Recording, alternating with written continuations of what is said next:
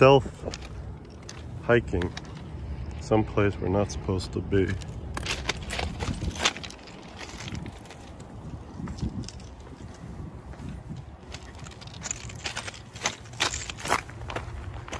And then we have to figure out how to get through this fence, which seems like it's a little hard right here. By the way, just found another railroad spike. These, these tracks have the old spikes in them. Pretty cool. Well, we can't get through here, unfortunately. All right, we were attempting to make it out to those rocks, boulders out there. Unfortunately, we could not get through the vegetation which dropped about 20 feet into a small river, tiny river over there. So unfortunately, we can't get over there. We thought we could. And now there's a train going by, which wouldn't have really bothered us. But anyway, that's where we were going to go. But now we're here at Picacho Peak. So basically that peak over there is Picacho Peak. We're gonna go check this place out.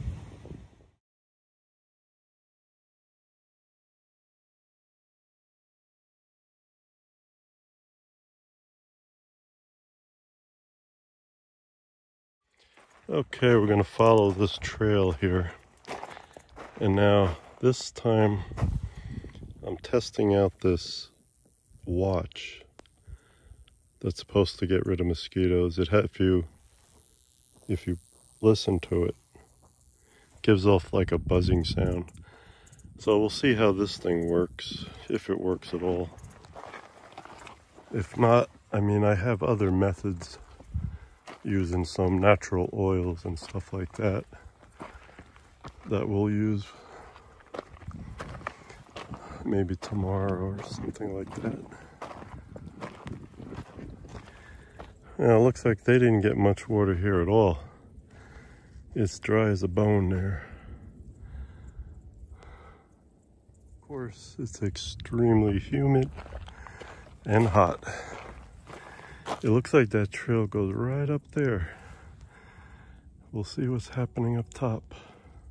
Okay, it's like 90 degrees here in Eloy, or Eloy, I don't know how you pronounce it. E L O Y. It's hot. And we're going uphill, which is always 10 times harder than just walking in a straight line, flat. Whew.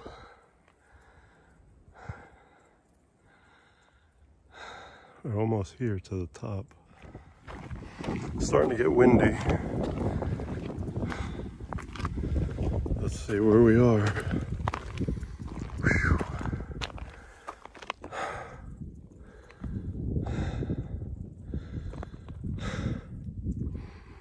We're out in the middle of nowhere.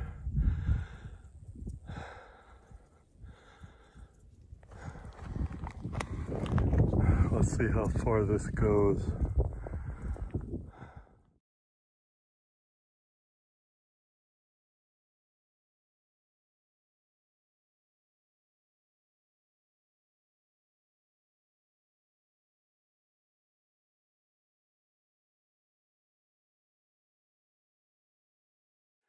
All right, we're basically gonna stop here because A, it's almost 100 degrees and that just keeps going up and up and up.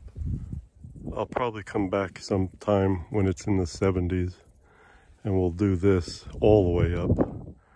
Right now, you gotta know your limitations and we've pretty much hit ours.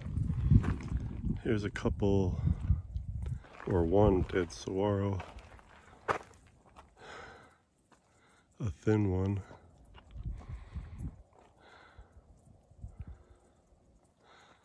While I'm up here, it's gonna go check this one out. A dead saguaro.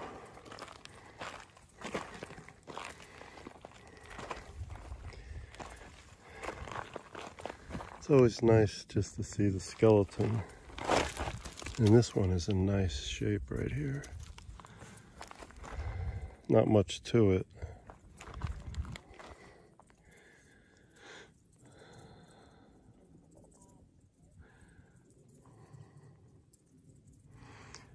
Anyway, thanks for watching. Have a nice day.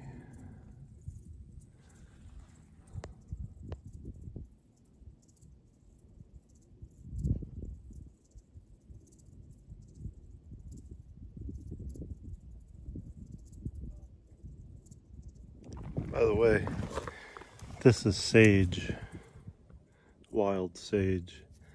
If you put it in a fire and burn it, let it smoke up, gets keeps mosquitoes away. You can also rub it on your skin, keep the mosquitoes away as well. There's a, a sticky solution though on it. By the way, didn't even hear a mosquito, let alone get bit by one.